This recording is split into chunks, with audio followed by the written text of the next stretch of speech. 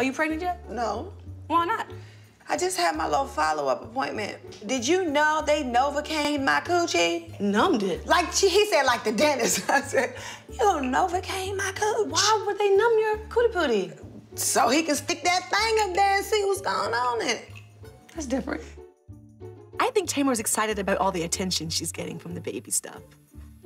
I think that uh, after Tamar becomes pregnant, I think her whole attitude is gonna change. Still a little no, no, I can't really feel much. I, I think I might have to pee, but I'm not quite sure.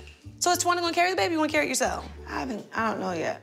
I am seriously considering Towanda offer to carry my baby.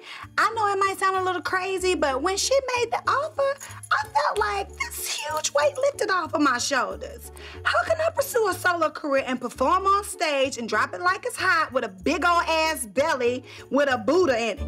What about my album? I ain't got time to watch no kids 24 hours like that. I can't, I can't. I'm way too busy. She's busy. I have things to do. I have to finish up my album, and I have to help Toni, you know, find her background singers.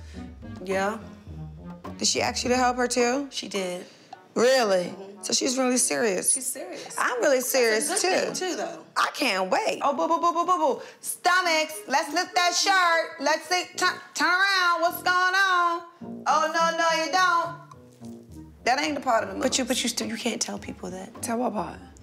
You can't say if your stomach is all the way down to your knees when you sit down, then it's not gonna work. Toni taught us. Her sisters is completely different.